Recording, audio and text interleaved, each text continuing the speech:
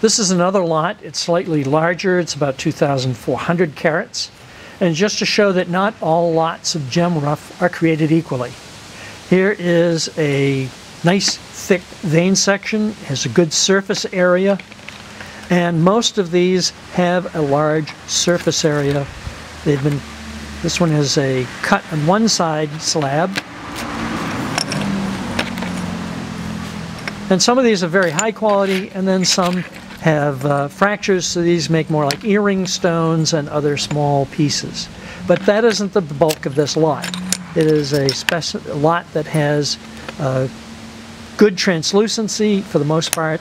They're mostly flat, parallel sides, so you could, if you're making cabochons, you could get high zone, high domed cabochons from it.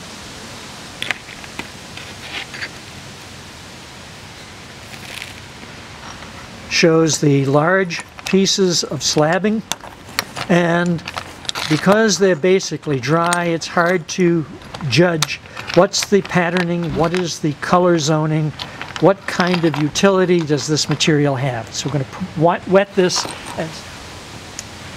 This is the lot, wet, you can see fresh. It has all sorts of lively patterns that weren't apparent when it was dry.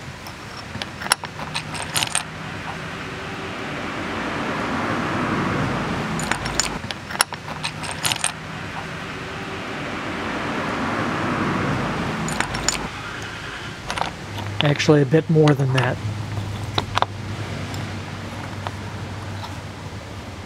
So this looks like quite a nice lot. Very good quality, very high grade. It would provide lots and lots of gem rough for your business or for your hobby.